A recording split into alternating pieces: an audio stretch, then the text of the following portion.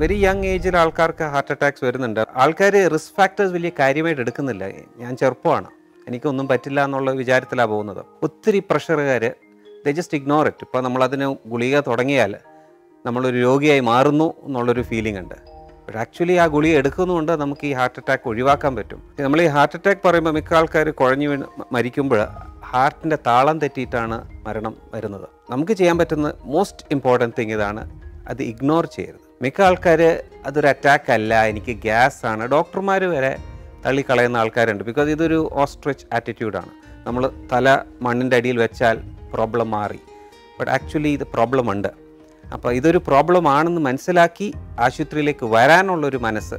Even if the പേഷ്യന്റിന് അത് തോന്നിയില്ലെങ്കിലും bystanders relatives അവരെങ്ങനെയെങ്കിലും കൂട്ടിക്കൊണ്ട് വരണം രണ്ടാമത് ചെയ്യാൻ പറ്റുന്നത് കയ്യിൽ ആസ്പിരിൻ ഉണ്ടെങ്കിൽ ഒരെണ്ണം ചൂ ചെയ്യാൻ കൊടുക്കാം. ആൻഡ് അടുത്തുള്ള ആശുപത്രിയിൽ ഏതെങ്കിലും standard medium to large size ഹോസ്പിറ്റലിൽ എമർജൻസി റൂമിൽ ഉടനെ പോകണം. ഗൾഫിലുള്ള ആൾക്കാർക്ക് we get expose to a lot of processed foods ഉണ്ട് ഫ്രൈഡ് ഫുഡ്സ് ഉണ്ട്. പറ്റുന്നത്രയും ഫ്രൈഡ് ഫുഡ്സ് ഒഴിവാക്കുന്നതാണ് നല്ലത്. എന്റെ കൂട്ടത്തിൽ എക്സസൈസിന്റെ importance cannot be overstated daily എക്സസൈസും ഒരു healthy diet full of antioxidants ഒക്കെ വന്നാൽ ഈ ഹാർട്ട് അറ്റാക്കിന്റെ റിസ്ക് ഡെഫിനറ്റ്ലി കുറയ്ക്കാൻ പറ്റും. ഗുളിക തുടങ്ങിയ ഗുളിക നിർത്താൻ പറ്റില്ല എന്നുള്ളൊരു പേടിയുണ്ട്. ഇറ്റ്സ് നോട്ട് ട്രൂ എനിക്ക് ബി പി അൺകൺട്രോൾഡ് ആയിട്ട് വരുമ്പോൾ ഒരു ഹാർട്ട് അറ്റാക്കോ ഒരു ബ്രെയിൻ അറ്റാക്ക് വരുമ്പോഴാണ് താൻ ഒരു രോഗിയാവുന്നത് പാരാലിസിസ് വരുമ്പോൾ ഹാർട്ട് അറ്റാക്ക് വരുമ്പോൾ നമ്മൾ റിയലി ഒരു സിക്ക് പേഴ്സൺ ആവുന്നു. അതാണ് നമുക്ക് പ്രിവെന്റ് ചെയ്യുന്നത്. അപ്പോൾ എത്ര കാലം മരുന്നെടുക്കണം എത്ര കാലം റിസ്ക് ഫാക്ടർ ഉണ്ടെങ്കിൽ അത്ര കാലം എടുക്കണം?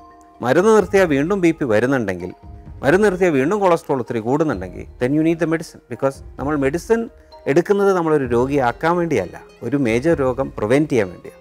So as long as you have the risk factor അത്രയും കാലം എടുക്കണം. റിസ്ക് ഫാക്ടർ ഉള്ള ആൾക്കാർ അത് ഇഗ്നോർ ചെയ്യരുത്. റെഗുലറായിട്ട് ബി പി ചെക്ക് ചെയ്യണം കൊളസ്ട്രോൾ ചെക്ക് ചെയ്യണം അത്രേ ഉള്ളൂ. വലിയ വലിയ ചെക്കപ്സിന് പോകേണ്ട കാര്യമൊന്നുമില്ല. പിന്നെ എന്തെങ്കിലും ഒരു ബുദ്ധിമുട്ടുണ്ടെങ്കിൽ അതനുസരിച്ചിട്ട് ചെക്കപ്പ് മാറും.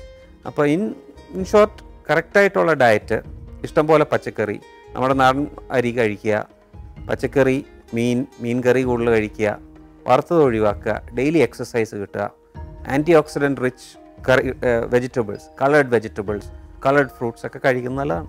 കുറച്ച് ചെക്കപ്സ് വേണം. ചില ആൾക്കാർ ക്ലീൻ ആയിട്ടുള്ള ലൈഫ് സ്റ്റൈൽ ജീവിച്ചാൽ തന്നെ അവരുടെ കൊളസ്ട്രോൾ കൂടുതലായിരിക്കും. ചിലപ്പോൾ ഷുഗർ ഉണ്ടാവും ചിലപ്പോൾ ബി പി ഉണ്ടാവും. അങ്ങനെ ഉണ്ടെങ്കിൽ അത് കൺട്രോൾ ചെയ്യാനുള്ള മരുന്നെടുക്കുക കറക്റ്റായിട്ടുള്ള ടാർജറ്റ് റിസ്ക് ഫാക്ടർ കൺട്രോൾഡ് ആണെങ്കിൽ ഒരു ക്ലീൻ ലൈഫ് സ്റ്റൈൽ ഉണ്ടെങ്കിൽ ഹാർട്ട് അറ്റാക്ക് പറ്റുന്നത്ര ഒഴിവാക്കാൻ പറ്റും.